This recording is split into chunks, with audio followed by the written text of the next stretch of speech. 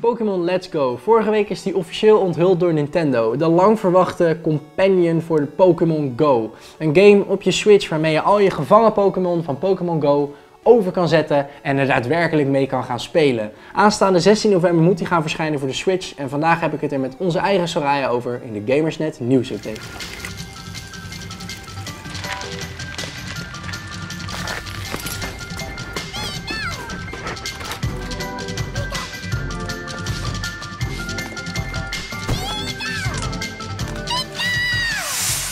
Inmiddels is Soraya naast mij komen zitten om het te hebben over Pokémon Let's Go. Soraya, wat vind je ervan? Wat ik ervan vind, ik vind dit awesome. Het is natuurlijk een remake van Pokémon Yellow, in ieder geval zo wordt het neergezet.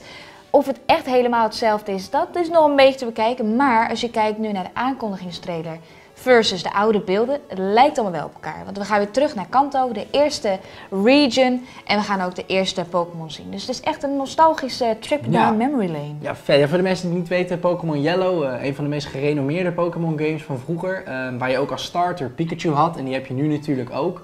Eh, sowieso heb je nu Pikachu en Eevee. Ik denk de twee grootste mascottes wel van, eh, van de Pokémon wereld. Pikachu natuurlijk al helemaal omdat dat de Pokémon is van Ash uit de serie. Ehm, ja, ze deden hier natuurlijk toch een beetje een, risicovol pad. Veel nostalgie zit erin. Het is een beetje, de game is een beetje een kinderdroom die uitkomt. Want het gaat namelijk samenwerken met het inmiddels al twee jaar bestaande Pokémon Go. Hoe eh, werkt dat? Nou, wat er dus gebeurt is, ze gaan onderling met elkaar linken. Dus wat je in de ene kan vangen, dat kan je uitwisselen met het volgende. Dus het voelt een beetje als mosterd na de maaltijd. Want je kan dus alleen de eerste paar 150 of 151 Pokémon kan je vangen in de Switch-versie. Maar die heb ik natuurlijk al lang met de Go-versie. Dus dat voelt een beetje vreemd. Ik denk, ja, dit is niet voor de mensen die Pokémon Go hebben uitgespeeld. Of eigenlijk klaar zijn met het spelen van. Zeker de Ja. eerste generatie. Want dat, dat voelt gewoon een beetje vreemd. Ja, want het is sowieso Pokémon Go. Ehm, voor de mensen die dat niet weten, dat was natuurlijk een, echt een enorme rage twee jaar geleden. Het spelletje waarbij je op je smartphone naar buiten ging, willekeurige Pokémon op straat als het ware tegenkwam. In de app had je een soort kaart, zeg maar, en dan kon je ze gaan vangen. Nou, dat was op zich een heel leuk idee. Zeker voor de echte Pokémon-fans was dat natuurlijk een droom die uitkomt. Want ja, je bent dan zelf een soort Pokémon-jager in de echte wereld. Ehm, voor niet-Pokémon-fans was het alsnog ook wel echt een, ja, best wel een leuk spel om te spelen. Alleen het grootste probleem met dat spel was natuurlijk van ja, je had op een gegeven moment Pokémon gevangen en dan zet je ze een beetje in gyms.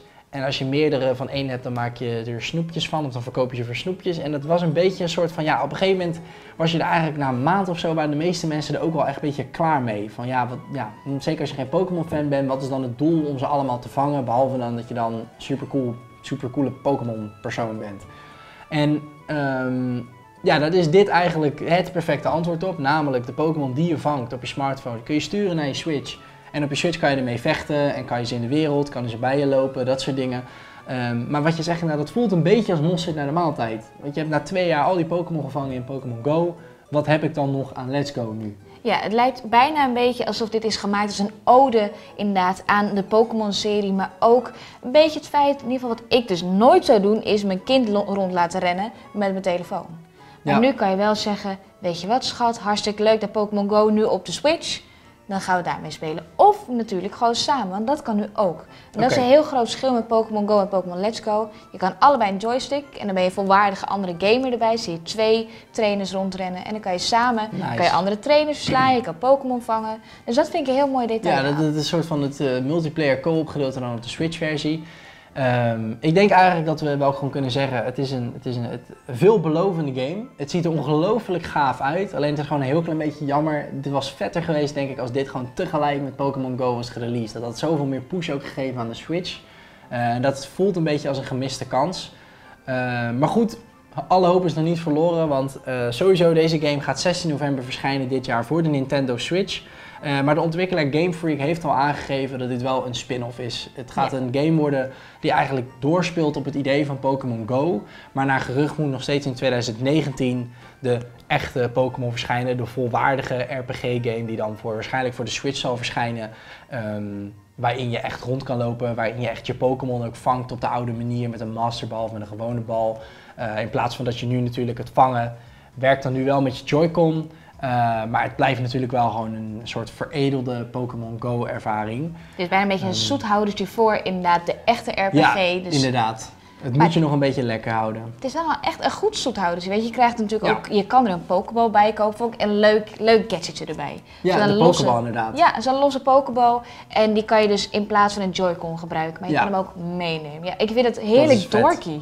Ja, het is heel erg, eh, eh, in de podcast hadden wij het er ook over, het is heel erg eh, gebaseerd natuurlijk ook op, op, op die nostalgische droom. Een pokeball bij je dragen waar dan je Pikachu in zit. Eh, een soort van in de AR-wereld eruit kunnen laten komen om te zien op je telefoon, andere Pokémon daarmee vangen, thuiskomen en het dan op je grote tv verder spelen. Het is allemaal heel erg, waar iedereen als kind denk ik van gedroomd heeft. Alleen ehm, zijn het denk ik ook juist die mensen die zoveel nostalgie hebben en zoveel hechten aan, waarde hechten aan Pokémon, die uiteindelijk hier zoveel geld eraan uit willen geven. Ja. Je moet natuurlijk een smartphone hebben van een paar honderd euro, een Switch van een paar honderd euro. En het pokerballetje zelf gaat nu ook voor een richtprijs van ongeveer 50 dollar. Dus het is als het ware een heel kindvriendelijk spel, maar voornamelijk denk ik meer voor het kind wat allemaal nog in ons zit.